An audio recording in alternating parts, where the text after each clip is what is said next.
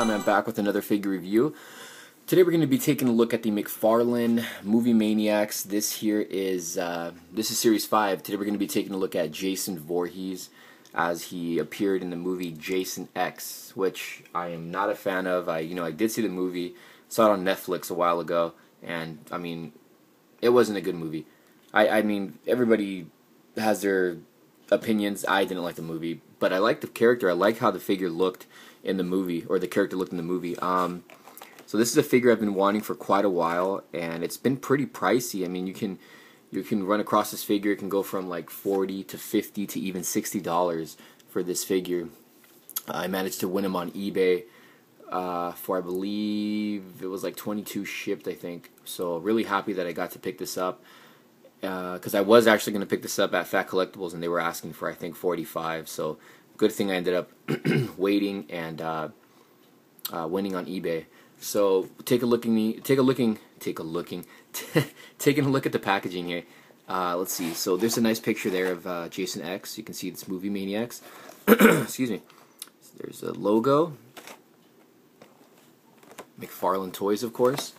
Uh, if you look on the side, it's just you know pictures of Jason X. Nothing really special. Uh, here's the back of the packaging. Here's the other figures from the series. There's Lord of Darkness. I, I do have that figure. Really nice. Um, there's the endoskeleton from uh, Terminator 2. Sarah Connor, which I do want to pick up. And uh, Tooth Fairy and Wishmaster. There's a picture of Jason X right there, or Jason Voorhees. so let's go ahead and uh, take this figure outside of packaging and we'll take a closer look at Jason X. Stay tuned. Alright, so here we have Jason X outside of the packaging. This is a pretty nice uh, looking figure. Um, you can already tell that the articulation is going to be limited.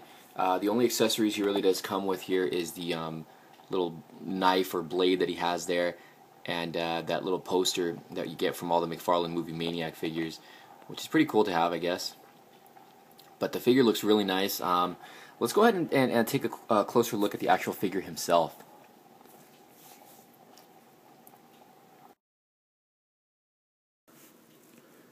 Okay, so here we have Jason X. Here's a closer look at the figure. First things first, the display or a little poster, movie poster of the figure by Movie Maniacs. You can see here, made out of uh, bones and whatnot. So this is a thing that all the uh, Movie Maniac figures come with.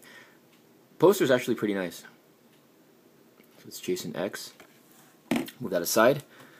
Get a close look at the figure himself. So he does come with this little like knife or blade whatever you want to call it, machete, which is actually, um, I do like the paint on this, is really nice.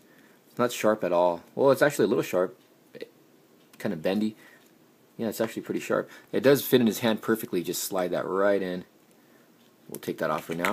We'll get a close look at the actual figure. I do like the head sculpt on this guy. I do I like the look of the character. The mask is really nice. See the top of his head here. Detailing is great. Really cool. Um, from, from what I remember of this movie, I think he's half cyborg. Don't remember too much. Kind of fell asleep watching it on Netflix. But he, but I do like the look of this uh, Jason. I think the look looks really, really nice. And uh, there's not much, there's not much else to the figure other than other than what you see trying to get this to focus a little better. And this is a pretty hard figure to come by, and it's a little pricey as well. So if you guys do come across this and you're a Jason fan, you know I do recommend you pick him up. Um, but he's a he's a great figure looking. He's a great looking figure overall. Now as far as articulation go, because he is really limited to the articulation, but he does stand well in the zone. Um, there's no leg articulation. There's no feet articulation whatsoever, and uh, he does rotate at the waist he does have rotation in the hands. And the head can rotate side to side. No up and down. And he does have a swivel in the arms. This one kind of has one in the mid arm. This one has one in the entire arm.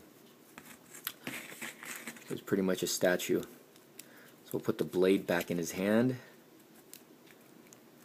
and there you have it. I mean, that's that's pretty much it to this figure. There's not really much to say. I mean, the figure looks great himself. Uh, this is a really, really nice looking figure. I do like the look of this Jason. I just didn't think the movie was all that great. But he's a he's a figure that's definitely worth uh, checking out, guys. All right, this is Cejaman. This is a short little review. Today we're taking a look at the McFarlane movie Maniacs. Uh, this is Jason X. Uh, very nice figure, guys. Definitely worth checking out. All right, thanks for watching.